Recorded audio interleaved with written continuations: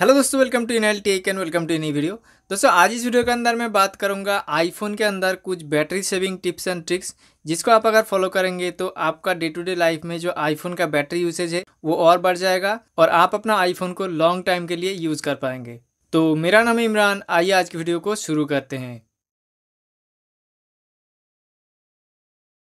तो दोस्तों, सबसे पहले बात करूँगा कि आप अपना आईफोन के अंदर अगर कोई भी विज़िट यूज़ करते हैं स्पेशली आप थर्ड पार्टी विज़िट अगर कोई यूज़ करते हैं तो उस विज़िट को आप डिसेबल कर दीजिए या फिर डिलीट कर दीजिए। क्योंकि आप अगर थर्ड पार्टी कोई भी विज़िट आपके आईफोन के अंदर यूज़ करेंगे तो वो बहुत ही बैटरी कंज्यूम करता है और आपका आईफोन के अंदर बैटरी को ड्रेन करता रहता है। तो आपका जो पूरा दिन आईफोन चलता है, वो पूरा दिन नहीं चलेगा।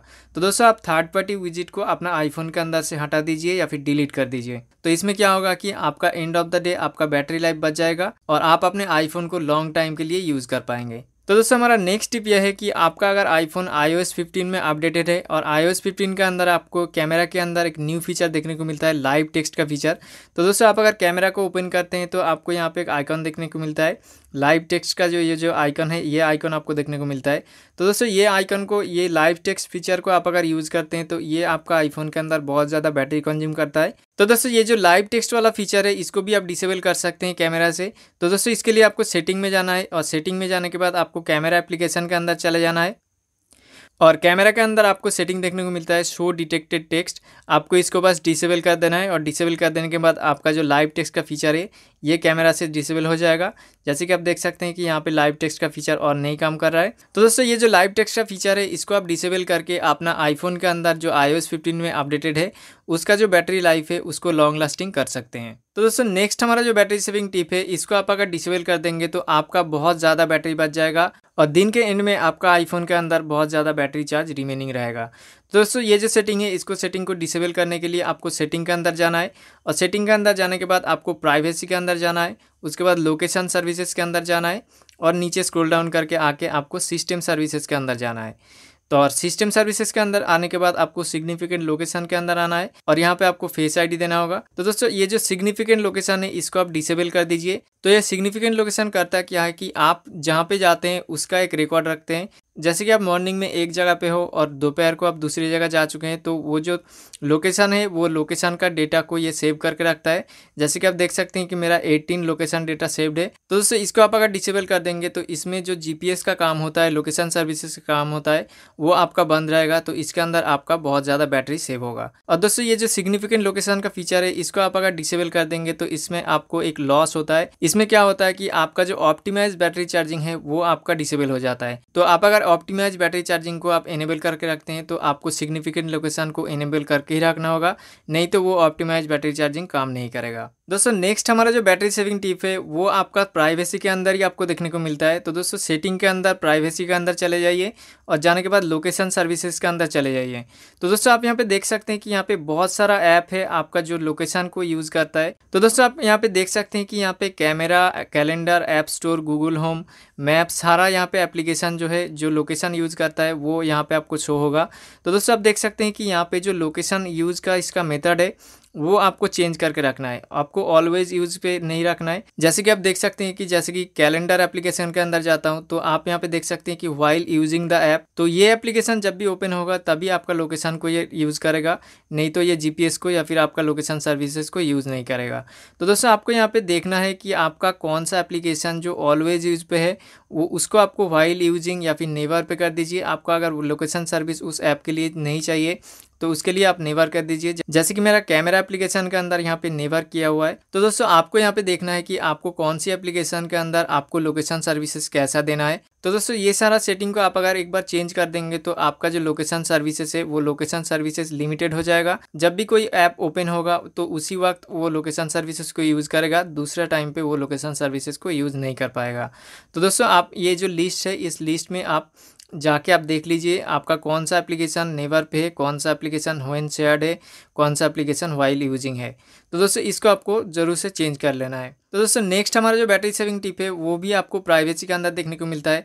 प्राइवेसी के अंदर जाके आपको लोकेशन सर्विसेज़ के अंदर जाना है और उसके बाद आपको सिस्टम सर्विसेज़ के अंदर जाना है। आपको यहाँ पे देखना है कि आपका कौन कौन सी सर्विसेज़ जो लोकेशन सर्विस को यूज़ कर रहा है। जैसे कि आप देख सकते हैं कि एप्पल पे बाय मार्चेंट एप्लीकेशन इंडिया के अंदर आपको इसको इनेबल करने की कोई ज़रूरत नहीं है, क्योंकि इंडिया के अंदर आपको एप्पल पे यूज़ करने का ऑप्शन देखने को नहीं मिलता है।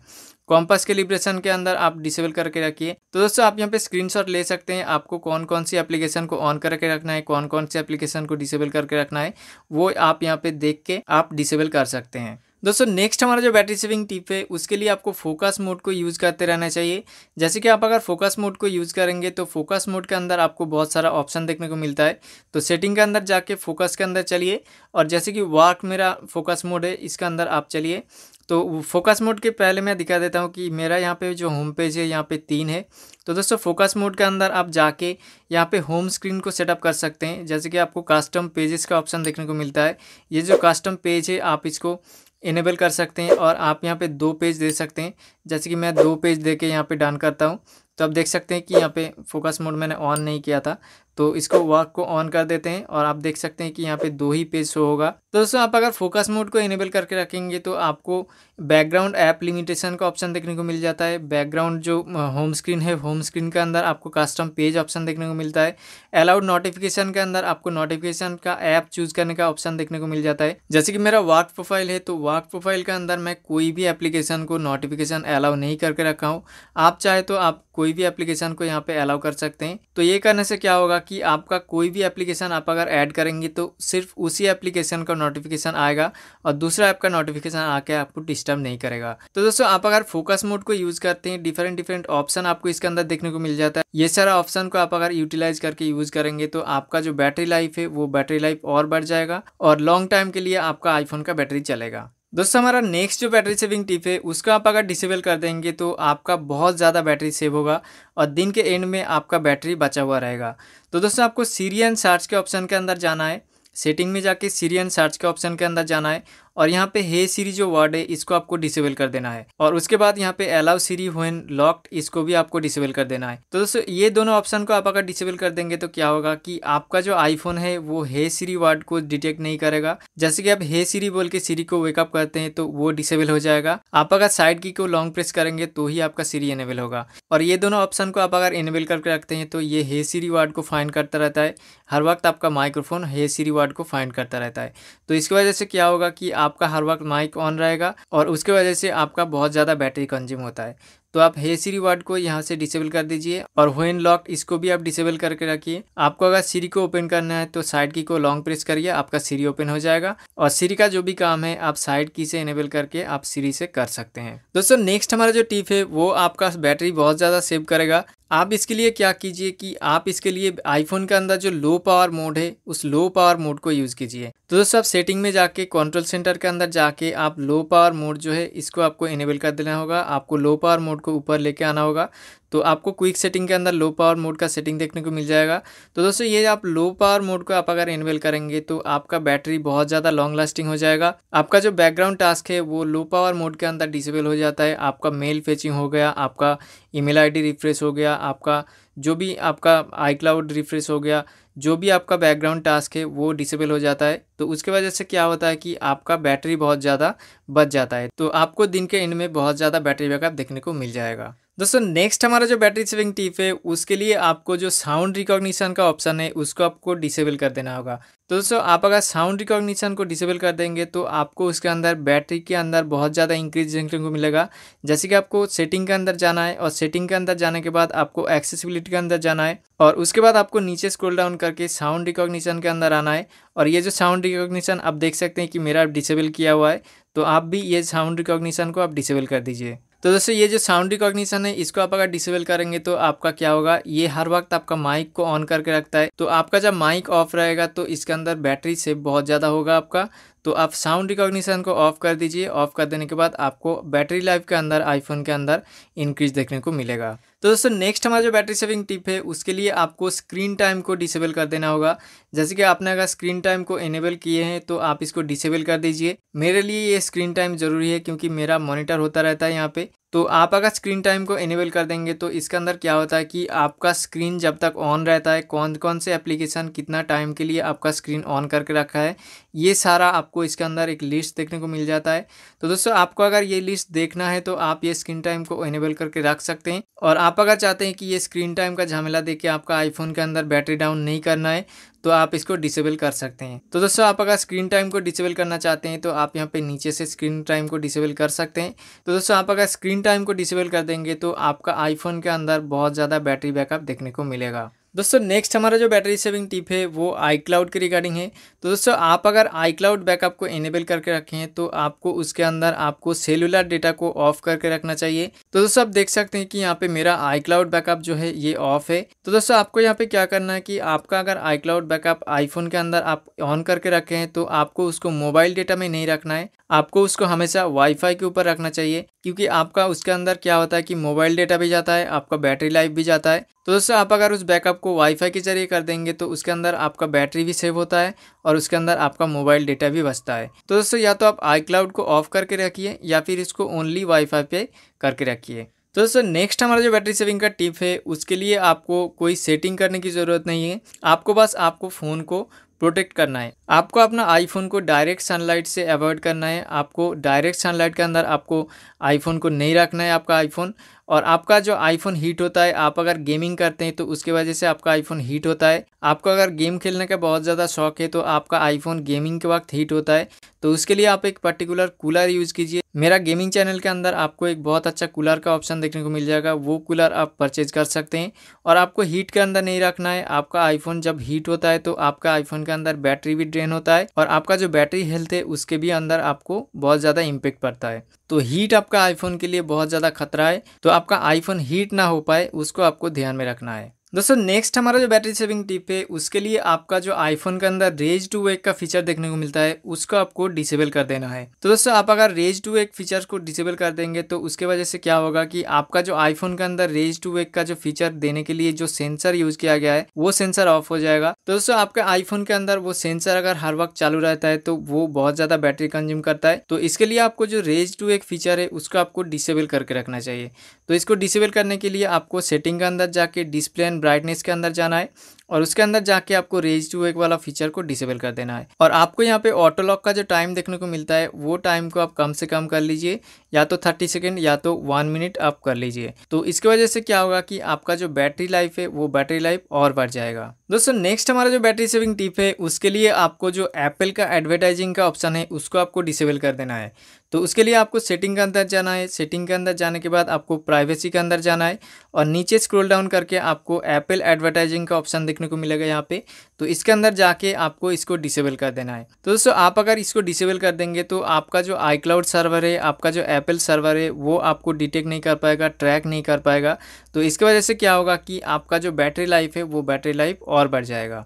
और उसके बाद बैक आके आपको यहाँ पे एनालिटिक्स एंड इम्प्रूवमेंट्स में जाके इसको भी आपको डिसेबल कर देना है। शेयर आईफोन एनालिटिक्स इसको भी आपको डिसेबल कर देना है। तो ये दोनों आप अगर डिसेबल कर देंगे तो आपका जो बैटरी लाइफ है, वो बैटरी लाइफ और बढ़ जाएगा। उसके बाद आपको प्राइवेसी के अंदर एक और ऑप्शन आपको देखने को मिलता है recharge sensor and usage data तो इसको भी आपको डिसेबल कर देना है। तो आप यहाँ पे देख सकते हैं कि मेरा इनेबल किया हुआ है नहीं है। तो आपका अगर ये इनेबल किया हुआ है तो आपको इसको डिसेबल कर देना है। इसको डिसेबल कर देने के बाद आपका बहुत ज़्यादा बैटरी बचेगा। दोस्तों नेक्स्ट हमारा जो बैटरी सेविंग का टिप है, वो आपको मेल सेक्शन के अंदर देखने को मिलता है। तो दोस्तों, आप सेटिंग के अंदर जाके मेल के अंदर चले जाइए और उसके बाद अकाउंट्स के अंदर चले जाइए और अकाउंट सेक्शन के अंदर जाने के बाद आपको यहाँ पे जो सेटिंग देखने को मिलता है फेच न्यू डेटा तो इसको आपको टैप करना है और टैप करने के बाद आपको यहाँ पे आई क्लाउड आपका जो मेल आईडी है वो उसके अंदर जाके आपको यहाँ पे फ़ेज़ पे कर देना है। इसको आपको पुश पे नहीं रखना है। या तो आप फ़ेज़ पे करिए, या तो आप मैनुअल पे करके रखिए। तो दोस्तों, आप अगर यहाँ पे पुश पे कर देंगे तो पुश के अंदर क्या होगा कि ये जो आई क्लाउड का आपका जो सेटिंग है और जी का जो सेटिंग है जब भी मेल आएगा तो तब भी आपको पुश करके वो मेल आपके डिवाइस में भेज देगा। इसको आप अगर फेच पे कर देंगे तो आप जब भी इसको फेच करेंगे जी एप्लीकेशन के अंदर या फिर ई एप्लीकेशन के अंदर जब आप चलेंगे, तब भी आपका मेल आएगा। तो दोस्तों, इसको फेच पे कर देने के बाद क्या होगा कि इसके अंदर आप टाइमिंग सेट कर सकते हैं। नीचे आप देख सकते हैं कि every thirty minutes every fifteen minutes manually आवाली आपको ऑप्शन देखने को मिलता है, ऑटोमेटिक का भी ऑप्शन देखने को मिलता है। तो दोस्तों, आप अगर थर्टी मिनट पे कर देंगे तो आपका जो मेल फेच होगा, वो थर्टी मिनट के गैप गैप के अंदर होगा। तो आपका इसके अंदर मोबाइल डेटा भी बचेगा और आपका बैटरी भी बचेगा। दोस्तों नेक्स्ट हमारा जो बैटरी सेविंग टिप है, उसके लिए आपका जो फ़ोन के अंदर फ़ोटोज़ एप्लीकेशन होता है तो फ़ोटोज़ एप्लीकेशन के अंदर क्या होता है कि आपका मोबाइल डेटा के अंदर आपका जो आई क्लाउड का बैकअप है, वो बैकअप होता रहता है। तो दोस्तों, आपको अगर मोबाइल डेटा में अपलोड को डिसेबल करना है तो आपको फ़ोटोज़ एप्लीकेशन के सेटिंग के अंदर चले जाना है और सेटिंग के अंदर जाने के बाद आपको यहाँ पे मोबाइल डेटा का ऑप्शन देखने को मिलेगा और टैप करने के बाद मोबाइल डेटा या फिर सेलुलर डेटा आपके पास कोई भी लिखा हुआ आ सकता है। तो इसको आप डिसेबल कर दीजिए। डिसेबल कर देने के बाद क्या होगा कि आपका जो आई क्लाउड बैकअप है, आपका जो फ़ोटोज़ का बैकअप है, वो बैकअप मोबाइल डेटा के थ्रू नहीं होगा। तो इसके अंदर आपका जो मोबाइल डेटा है, वो भी बचेगा और आपका बैटरी भी इसके अंदर बहुत ज़्यादा सेव होगा। दोस्तों नेक्स्ट हमारा जो बैटरी सेविंग का टिप है, वो आपका सफारी ब्राउज़र के अंदर सेटिंग के अंदर देखने को मिलता है। तो दोस्तों, आपको उसके लिए आपको सेटिंग के अंदर जाके सफारी ब्राउज़र के अंदर चले जाना है। सफारी ब्राउज़र का सेटिंग के अंदर जाना है। तो इसके अंदर आपको प्रीलोड टॉप हिट ये जो ऑप्शन है, इसको आपको डिसेबल कर देना है। तो दोस्तों, ये कैसे काम करता है? जैसे कि आप मान लीजिए कि आप अगर कोई भी वेबसाइट के अंदर हैं और उसके अंदर आपको मल्टीपल पेजेस देखने को मिलता है, एक, दो, तीन, चार करके नीचे जो टाइमिंग आता है लाइन आता है उसके अंदर आपको दो तीन पेज देखने को मिलता है। तो ये प्रीलोड टॉफिट क्या करता है कि वो जो नेक्स्ट पेज है, आप अगर फ्रंट पेज पे हैं, एक नंबर पेज पे है, दो नंबर पेज पे आप जाने वाले हैं तो ये प्रीलोड टॉप हिट क्या करता है कि वो दो नंबर जो पेज है, उस पेज को ये प्रीलोड कर लेता है। मतलब उस पेज को ये ओपन कर लेता है, आप अगर उसके अंदर टैप करेंगे तो तुरंत वो पेज खुल जाएगा। तो दोस्तों, आपको अगर इसको डिसेबल कर देना है तो आप इसको डिसेबल कर सकते हैं या फिर इनेबल रख सकते हैं।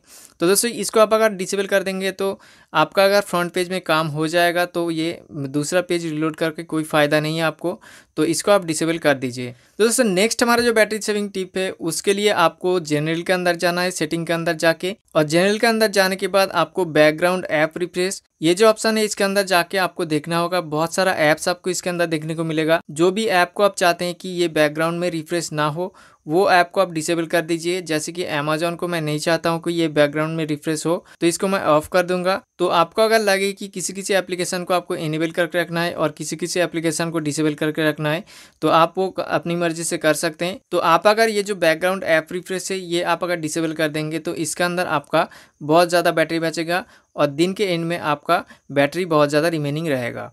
तो दोस्तों, यही था कुछ आईफोन के अंदर बैटरी सेविंग का टिप्स एंड ट्रिक्स iOS 15 के अंदर। तो दोस्तों वीडियो कैसा लगा आप कमेंट करके ज़रूर बताइएगा और आपका अगर मन में कोई सवाल है सुझाव है क्वेश्चन है तो आप कमेंट करके पूछ सकते हैं। और चैनल को सब्सक्राइब करके बेल आइकन को ऑल पे करके रखिए ताकि ऐसा इंटरेस्टिंग वीडियो का नोटिफिकेशन आपको तुरंत मिल जाए जब भी मैं वीडियो अपलोड करूँ। तो फ़िलहाल इस वीडियो में इतना ही। मिलते हैं कुछ और इंटरेस्टिंग वीडियो के अंदर। तो तब तक के लिए बाय बाय